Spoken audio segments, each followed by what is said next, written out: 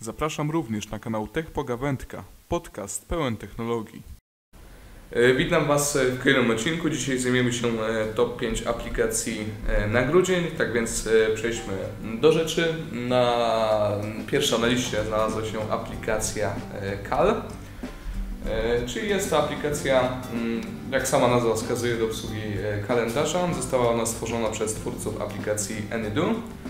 E, I po prostu u góry mamy różne daty wyświetlone, możemy się pomiędzy nimi właśnie poruszać takim e, prostym gestem, e, zsuwając z góry do dołu. Odpala nam się widok całego miesiąca. Możemy sobie dodać tak, także wydarzenie. U góry był ten właśnie przycisk. Bardzo fajne animacje temu wszystkiemu właśnie towarzyszą. Mm, Możemy też sobie mm, przejść właśnie do ustawień. I tutaj mamy kilka fajnych opcji. Możemy synchronizować sobie tę aplikację z aplikacją AnyDo, pokazywanie urodzin, e, zdjęcia właśnie w tle. Możemy wybrać kategorie, z których chcemy, aby te zdjęcia były e, wyświetlane. E, Potem mamy dzień, w którym zaczyna się tydzień.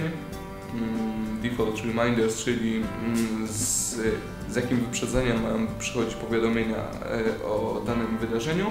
I możemy wybrać domyślny kalendarz. Dobra, kolejną aplikacją jest aplikacja Blur One. E, Aplikacja służy do zamazywania zdjęć, e, co przekształca się w całkiem e, fajne tapetki. Mamy tutaj taką opcję jak Create Wallpaper, Create a Custom Image i About. W About mamy opcję po prostu o, o informacje o deweloperze i o tej aplikacji i tak dalej. Możemy sobie, znaczy wezmę opcję taką dla pokazania Create Wallpaper. Możemy sobie właśnie z obecnie ustawionej tapety też ją sobie e, zamazać, więc to jest bardzo fajna rzecz. Ale możemy też sobie wybrać Create a Custom Image, chyba tak, tak była taka opcja i po prostu przycinamy sobie mm, jakieś e, zdjęcie. E, Klikamy gotowe i po prostu możemy sobie zamazać tę tapetę, możemy ją sobie jeszcze udostępnić i zapisać, więc aplikacja bardzo fajna dla osób, które lubią właśnie e, tego typu e, tapety.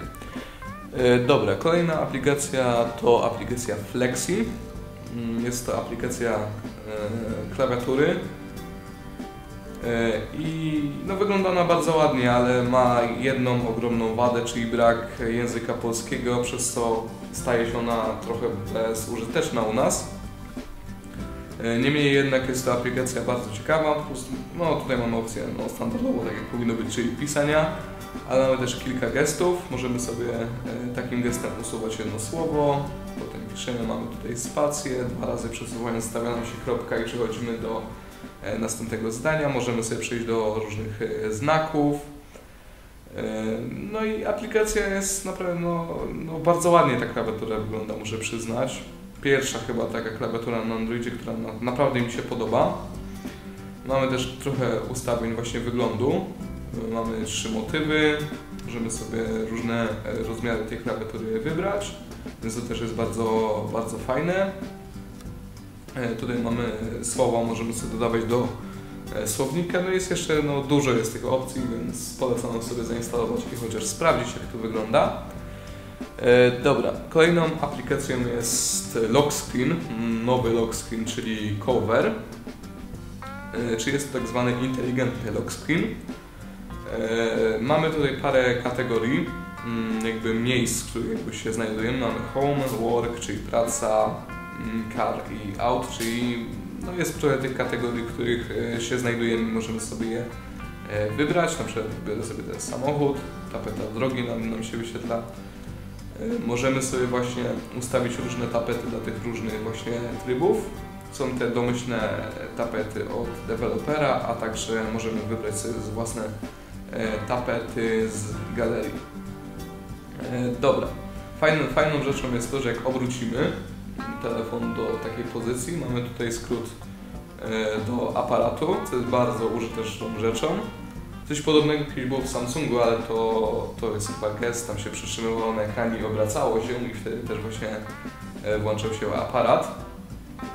Mm, dobra, jest to w pewnym sensie inteligentny lock screen, ponieważ e, on wybiera najczęściej używane przez nas aplikacje i mamy je tutaj właśnie w tym jakby e, pierwszym doku i możemy bezpośrednio sobie właśnie do, tej, do takich aplikacji e, przejść. Naprawdę uruchamiają się one bardzo, bardzo szybko, co jest dla mnie w ogóle zdumieniem było, że e, tak szybko się e, uruchamiają. No i po prostu przesuwając dół możemy do dalszych właśnie mniej używanych przez nas aplikacji sobie przejść. No i oczywiście takim przesunięciem, jeszcze raz Wam pokażę, odblokowujemy sobie nasz telefon. Ostatnią aplikacją jest już recenzowana przeze mnie aplikacja Financius, ale uważam, że jest ona na tyle dobra, że warto, żeby właśnie znalazła się w moim top 5 aplikacji. E, Tak więc e, interfejs bardzo ładny, służy oczywiście do zarządzania naszymi finansami, więc odsyłam Was do e, recenzji, która znajduje się właśnie już na moim kanale. Mm, Więc to było chyba na tyle w tym odcinku. Dziękuję Wam za obejrzenie. Jeśli nie zasubskrybowaliście mojego kanału, to oczywiście serdecznie e, Was do tego zapraszam. Tak więc ja się z Wami żegnam, pozdrawiam Was, e, cześć.